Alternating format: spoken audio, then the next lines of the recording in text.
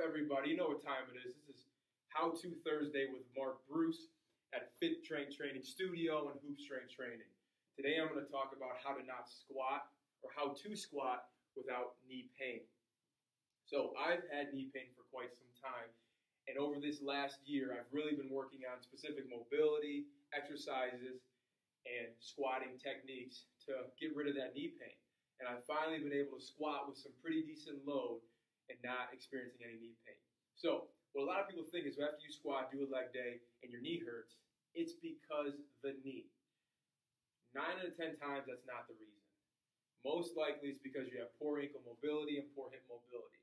Now, I'm going to talk about that ankle mobility. With poor ankle mobility, you know, your knee is going to have to take over what the ankle should be doing to allow you to absorb, to bend properly, and also to, you know, push yourself up properly. So, what I'm going to do is I'm going to put two five pound plates in the ground, and you can also add 10 pounds. Um, the worse your mobility is, the higher you may need to make it, and I'm going to step on it. Now, before I add any load, I'm just going to learn how to perform a proper body weight squat. Don't just step into the weight room, grab some weights, grab a bar, and start squatting. Make sure you can master body weight movements first. There's no need to rush because the minute you get hurt, you're sidelined, you're not going to be happy, you're not going to achieve your fitness goals. So I'm going to stack, I'm going to put my heels on the plate. I'm going to look straight, I'm going to have my arms in. And now as I bend down, I like to say show your groin or show your crotch.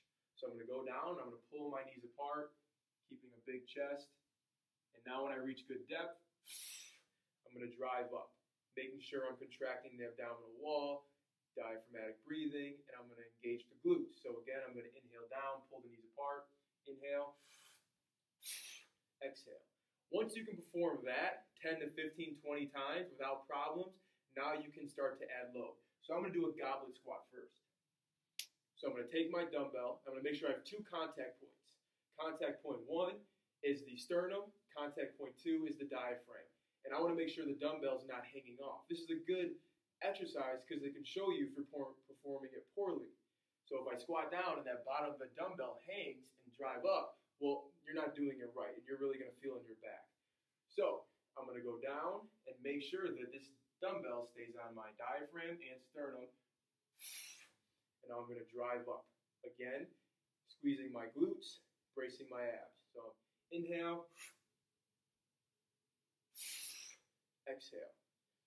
And you will really feel in the quads and in the glutes. So that's your tip for today. If you have knee pain, take the proper measures to do the mobility exercises for your hip and your ankle, specifically your ankle. Um, the hip exercise, the hip video is coming, and make sure you're taking the proper measurements to get rid of that pain. There's no need to rush, there's no need to overdo it, because, like I said, the minute you get hurt, you're sitting down, you're not achieving your goals, you're getting upset, and now you're going to have more things to deal with. So, that's your tip.